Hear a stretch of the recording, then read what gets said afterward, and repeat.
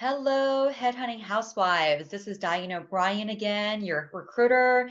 I am excited to talk to you about these jobs that I have coming up in first quarter. I think I mentioned in the podcast previously that I had a company I was talking to, and I was excited for you all, not just for myself for getting a, the new contract on a retainer, but they want to hire um, about 20 to 25 um, I can't say women because you know obviously equal opportunity, but they're very open to work from home women and remote recruiters and even newbies that they uh, that they can help train. So um, right now, for any one of you out there, and for that job, it would be right here in Philly. But I have other clients all the way out to the West Coast, even that are more open than ever to hiring recruiters like that as well.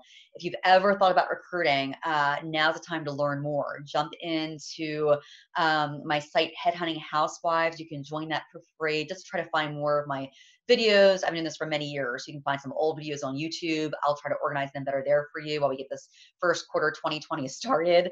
Um, but it's really an excellent career that I encourage you to really look more into. I have a book, Work from Home Headhunter. If reading is more your thing versus watching the videos or listening to podcasts, I'm just trying to get the word out so that um, more of you can experience this amazing career that I've had. I've been doing this for 20 years. Some of you may know it's been amazing for my family. I've raised my two girls. My youngest, Morgan, is getting ready to go to college next year. Madison's already in her second year of college.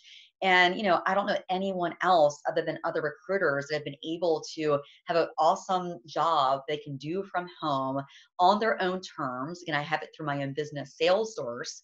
Um, but even when I started the first few years in corporate, I was able to do it from home. So it's all how you negotiate it and make six figures and hire teams in whatever industry you want. Or later, I got to be a retained executive search recruiter, which I'm still doing now in my business sales source. But uh, I want to teach all of you about that because I don't know how much longer I'll keep recruiting. It always kind of calls me back. It does allow me to take off summers when I want or take off a whole quarter in the spring when I want. Um, you know, you really control your own desk and how you hire. And when you finish a hire, you don't have to take on another job order with that client if you don't want to.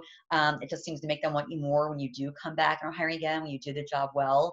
So it's just a really cool flexibility for us women out there that we want to put our families first. We want to be at home. We don't want to travel unless we want to and uh, just really be free, you know, to really to kind of write your own script and how you want to live your life. And I've been really fortunate, knock on wood, to do that the past 20 years.